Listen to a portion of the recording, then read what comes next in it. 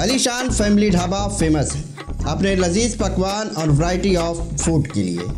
जैसे special mutton handi, Peshawari gravy white Kasturi, ज़ाफ़रान kebab, अजवाइन कबाब और जामुनी कबाब के साथ स्पेशल अलीशान खबसा family room Dastarkhwan event and function and birthday celebration with nice ambience free home delivery इसी कनेक्टिविटी के साथ बाईपास कालशेखर के सामने अफोर्डेबल प्राइजिंग वाइड स्पेस ताकि आप अपनी पूरी फैमिली के साथ एंजॉय कर सकें। स्वाद का किंग अलीशान फैमिली ढाबा।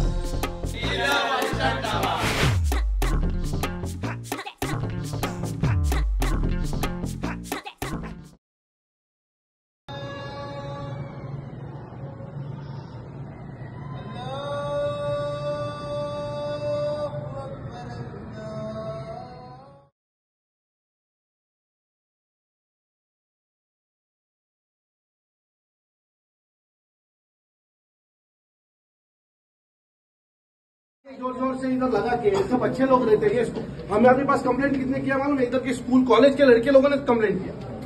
तो आप घर में प्रार्थना करो हम भी हाँ, आपके आपके साथ है। लेकिन आप ऐसे अगर चिल्ला के करोगे तो हम फिर हम हाँ। और अपनी क्या नाम है जी आपका? मेरा नाम शहनाज है और मेरे भाई का नाम अकबर है। कौन कौन रहते घर में? इधर। हाँ? इधर में इधर रहते क्या? इधर। इधर? दोनों रूम कितने रहते हाँ नहीं आपका रूम आपका है हमें कोई प्रॉब्लम नहीं है। आपका रूम है आप उसमें प्रार्थना करो सब करो। इतने बड़े स्पीकर लगा के क्यों आप कर रहे हो?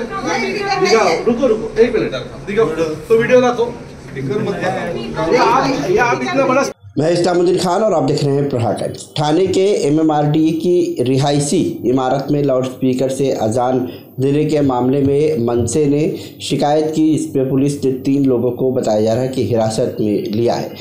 थाने के मानपाड़ा परिसर में एमएमआरडीए की इमारत में एक मुस्लिम परिवार, जो यहाँ पर अजान देकर और अपने घर में नमाज़ पढ़ता है। लेकिन मनसे की शिकायत पर यहाँ पर पुलिस ने एक्शन लिया है। आपको बता दें कि यहाँ पर ऐसा दावा किया जा रहा है कि लाउड स्पीकर से यहाँ पर अजान दी जा रही थी और इस इमारत में कुछ रहने वालों ने मनसे नेता से इसकी शिकायत की, अविनाश जाधव से।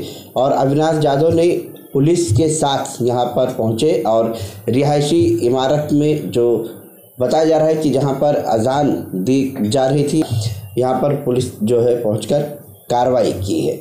लोगों से पूछताछ भी की और बताया जा रहा है कि ये एमएमआरडी की इमारत है और ज़्यादातर इसमें मुमरा और अन्य जगहों के जो लोग हैं, उन्हें यहाँ पर शिफ्टिंग दी गई है।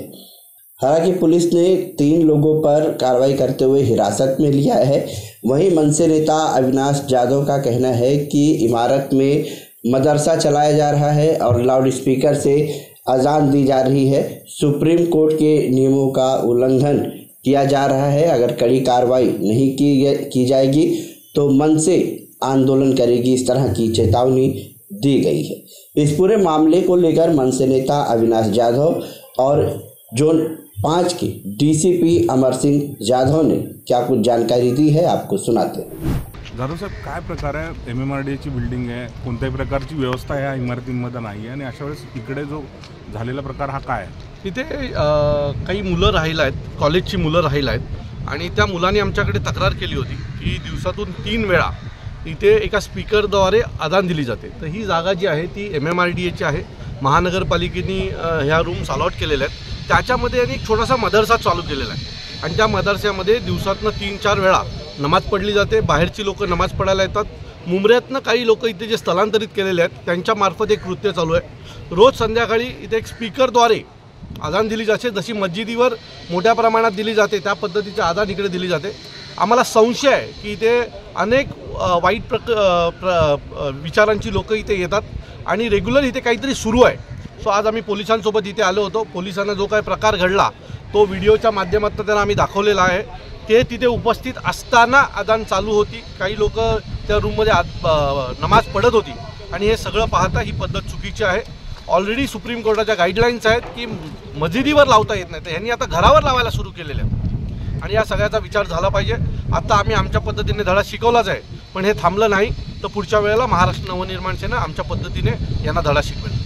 प्रकारची कारवाई पोलिसांनी केली. आता पोलिसांनी ते स्पीकर जप्त केलेले आहेत. तिथे एक नमाजाच्या वेळा लावल्या आहेत.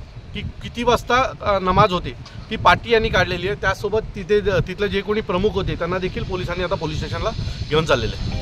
तर कशा प्रकारची कारवाई व्हावी ही तुम्हाला अपेक्षा मला असं वाटतं की याच्या आधी सुप्रीम कोर्टाने गाईडलाईन दिल्या गाईडलाईन ज्या दिल्यात त्यानुसार ऑलरेडी मस्जिदीवरच्या भोंगे उतरणं खूप गरजेचं होतं. पण त्याच्याबरोबर आता ह्या लोकांनी घराघरात घुसून भोंगे लावायला सुरू केलेले आहेत. सो ही एक धोक्याची घंटा आहे आणि मला वाटतं हिंदू संघटनांनी यांच्याकडे लक्ष दिले पाहिजे. शिंदे गट आणि बी जे पीचं सरकार आहे. आणि अशा वेळेस काय अपेक्षा आहे की अपेक्षा आहे की अशा गोष्टी घडल्या नाही पाहिजेत? तुम्ही जय श्रीराम म्हणून बावीस तारखेला संपूर्ण ठाणे जिल्ह्यात जो काय कार्यक्रम केलात सो तो फक्त दिखावा आहे का? त्याच्या पुढे जाऊन ह्या सगळ्या गोष्टी पण बंद झाल्या पाहिजेत ना? की त्या महाराष्ट्र नवनिर्माण सेनेनी बंद कराव्यात आणि जिथे श्रेय खायची वेळ येते त्यावेळेला तुम्ही ते श्रेय खाणार? हो, आज शाम पाच बजे पुलिस स्टेशन चित्रासन मानपाड़ा के एरिया में M M R D A का बिल्डिंग है। उसमें बंद फ्लैट में, क्लोज फ्लैट में तीन इसम नमाज़ पढ़ रहे थे लाउड स्पीकर लगा के।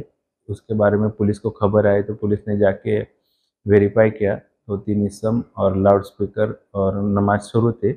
उसके बारे में हम आगे की कार्रवाई कर रहे हैं। जो मदरसे वगैरह चलाए जा रहे थे ऐसी पता कहानी पता चल रही है मैंने उसकी तरफ़ से। वो सब इन्वेस्टिगेशन में सामने आएगा। तो फ़िलहाल कुछ धारा पे इंक्वायरी चल धारा कौन सी धारा पे आगे किया उसे अभी फ़िलहाल हम पुलिस स्टेशन में उनकी इंक्वायरी करें आगे के हम लीगल एक्शन लें।